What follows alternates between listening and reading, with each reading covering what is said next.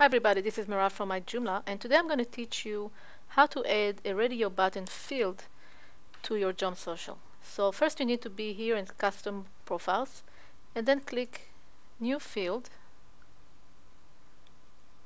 Here we're going to select radio buttons. Now this is appropriate if you don't have too many options. If you have a lot of options, don't choose radio buttons. Choose, let's see what other options we have here you want to choose multiple select if you have more than like four or five options. But if you have uh, questions like yes and no, or gender, female, male, or just two to four options, you want to choose radio buttons. So let's say we're asking them, um, do you like your job? This is a yes and no a question. We're going to put it here in about me. We're going to give it a name a field code job. And it's asking me do you want it to be in the registration? I'm going to say no.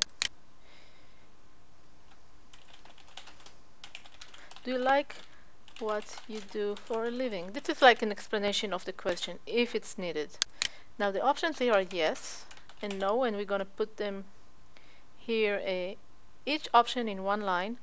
And if it's going to be required no we want it published. We want it visible on the profile. So let's save it. And let's take a look at the front end. I'm going to click on profile edit profile so that we can answer this question.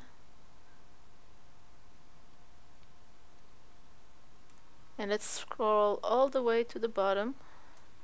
Do you like your job? I'm gonna say yes because I really love what I do and as you can see it's showing me the tooltip that you entered that we entered. We're going to click save. And let's take a look at the profile to see it there.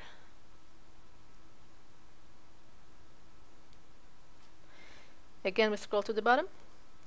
Do you like your job? Yes. So this is it about how to add radio button field to your JomSocial. Thanks for watching